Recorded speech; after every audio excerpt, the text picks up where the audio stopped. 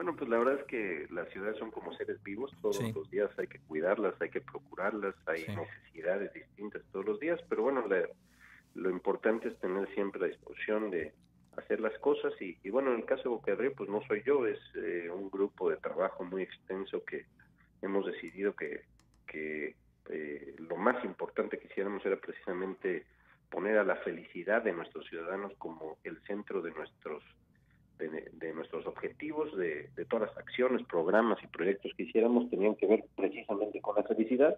Y funcionó la apuesta porque al final de cuentas creo que eh, todo lo que se hizo eh, ha, ha, permitido que pues la gente que vive aquí pues viva bien y viva contenta y, se sienta orgullosa de su ciudad, se haya apropiado de su ciudad, eh, y bueno, pues creo que ese es el gran objetivo de cualquier gobernante y, estoy realmente muy orgulloso de mi equipo de trabajo y de lo que hemos podido lograr. Es, cierto esto que usted menciona, muchas de las tendencias en materia de manejo y administración pública ya en la actualidad hablan precisamente de atender necesidades de felicidad. ¿Qué tan feliz es quien habita en alguna demarcación, en algún pueblo, en algún municipio? Y esto es importante atenderlo. Platíquenos un poco sobre la obra y el valor agregado de las mismas que ha hecho pues distinguirse a su administración. ¿Por qué darle ese valor agregado a estas obras cuando pues pareciera que hay muchas otras administraciones que sí, bueno, llaman a convocar, realizan la obra, pero es más bien como obra de relumbrón, ¿no? Pues fíjate que nosotros eh, cuando hablamos de obra pública, eh, hablamos que todas las obras que realizáramos serían obras que transformaran la vida de la gente. Sí. Que cada obra que se hiciera tuviera como eh, centro de la decisión de, hacer esa obra precisamente al ser humano. ¿Qué iba a pasar cuando esa obra se hiciera? ¿Cómo se iba a transformar la vida? ¿Cómo ibas a mejorar la vida de las personas que ahí viven o las personas que rodean esa obra?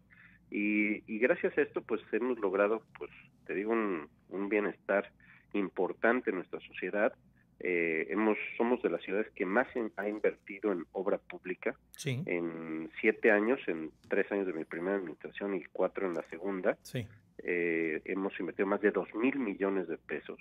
Y, bueno, pues hemos transformado desde los espacios públicos, hemos transformado eh, banquetas, calles, parques, plazas y obras tan importantes como lo es el Distrito Boca y el y el Foro Boca también, que, que bueno, estamos a punto de, abrir y que pues será un polo de desarrollo cultural, económico, turístico para para Boca de Río, pero también para Veracruz y para México. Entonces, la verdad que estamos muy orgullosos de, de, la obra pública, es uno de nuestros fuertes, sobre todo porque ha sido obra que realmente ha transformado la vida de sobre ese tema me gustaría apuntarle, alcalde, ha construido obra que sí, evidentemente las ciudades como seres humanos van demandando cosas conforme van creciendo, conforme se van desarrollando, pero hay también obras que se buscan construir para tener esa interacción con la ciudadanía. ¿Por qué se hace esto? ¿Bajo qué filosofía se maneja? ¿Y por qué se tiene que hacer así desde esta óptica?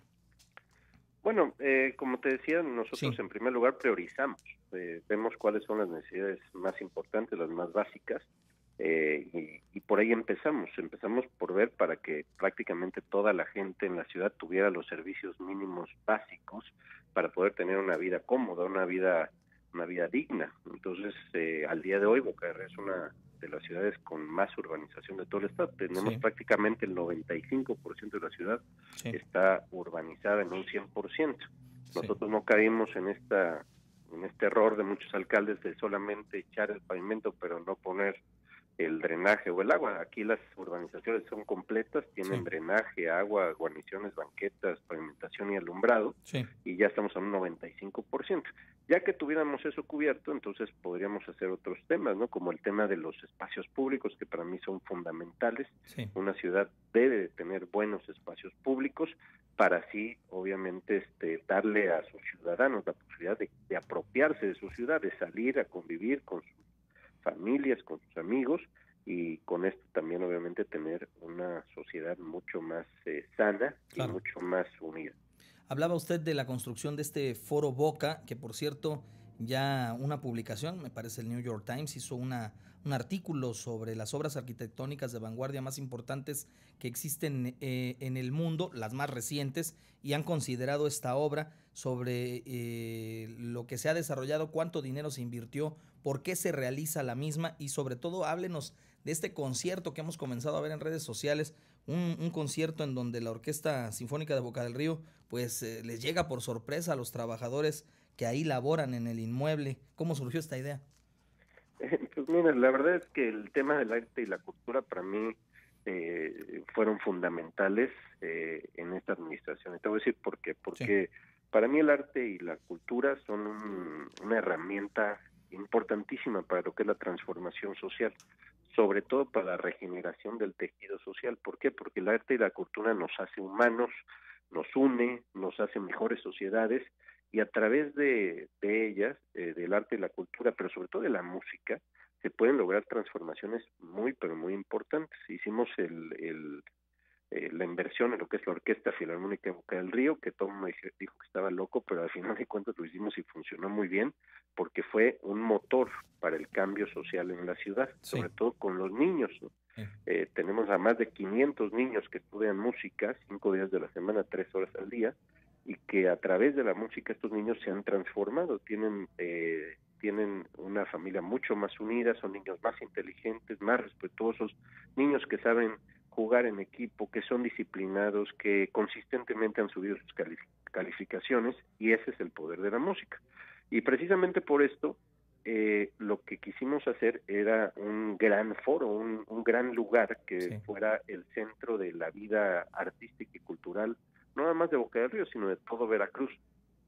Y creo que lo logramos, estamos dejando un eh, edificio de, de, clase mundial literalmente, eh, en donde se podrá hacer todo tipo de actividades artísticas y culturales eh, de manera gratuita y donde tendremos espectáculos también de altísimo nivel. Y con esto, pues obviamente, eh, tratar de apoyar sobre todo a los niños, a los jóvenes, a, a toda la gente en general, pero sobre todo a ellos, a que tengan oportunidades, que puedan pasar sus días, sus horas haciendo algo de provecho para ellos mismos, evitando que tengan malas influencias, viendo otras cosas, abriéndoles la mente.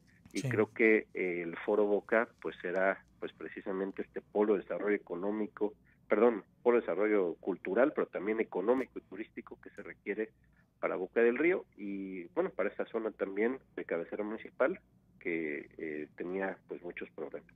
Pues alcalde, como siempre, le agradezco la gentileza de tomarnos el teléfono para platicar con el auditorio en el estado de Veracruz y bueno, por supuesto ahí estaremos pendientes de este video porque la verdad nos ha llamado mucho la atención hacer este ejercicio de acercar sobre todo a la cultura, a las personas, a la población, como bien apuntaba, es un buen método ¿no? para poder cambiar y transformar el entorno y bueno, pues ojalá muchos más repitieran o replicaran este tipo de ejercicios. Gracias. Sí, muchas gracias y ahí para que todos lo vean está muy interesante que hicimos que la primera nota que se toca, nota musical que se tocara en el foro se, fuera para los albañiles, para los que lo estaban construyendo. Y la verdad que fue una gran sorpresa, estaban felices y creo que vale la pena ver el video. Y conjugarlo, que el músico creador de esa obra, pues otro veracruzano, Agustín Lara, ¿no?